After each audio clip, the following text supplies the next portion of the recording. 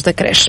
Promover a conservação das Ilhas Barreira da Ria Formosa é a intenção de um projeto apresentado esta tarde em Olhão, em pleno Parque Natural da Ria Formosa. O projeto LIFE Ilhas Barreira vai durar quatro anos e inclui diversas associações e universidades.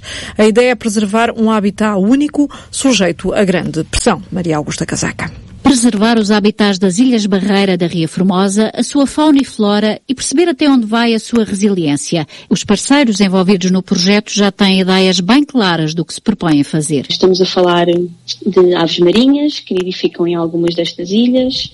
Uh, estamos a falar também de habitats muito especiais, que são as dunas cinzentas e que no fundo fazem a retenção do solo né, nestas ilhas e tentar perceber como é que tem sido a evolução destas uh, ilhas ao longo do tempo para perceber num cenário uh, que cada vez é mais real de alterações climáticas, se estas ilhas serão resilientes o suficiente para manter a sua função. Joana Andrade, coordenadora do projeto e responsável pelo Departamento Marinho da SPEA, a Sociedade Portuguesa para o Estudo das Aves, revela que a ilha deserta será o local onde as ações mais decorrerão e envolvem, por exemplo, a colocação de novos trilhos e a remoção de espécies invasoras. Estão previstas centenas de atividades de educação ambiental junto das escolas e também junto dos pescadores para tentar preservar uma ave ameaçada. É a ave marinha mais ameaçada da Europa, que é a pardela balear, e portanto, junto da comunidade pescatória, vamos ter observadores a bordo e, em conjunto com os pescadores, testar medidas podem prevenir estas capturas que, eh, na maior parte dos casos, leva à, à morte. Neste projeto, que terá um financiamento de 2 milhões de euros, com participado em 75% pelo programa LIFE,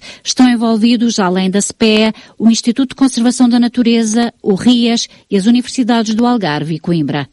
O projeto vai ser apresentado esta tarde em Olhão, eh, em pleno Parque Natural da Ria Formosa.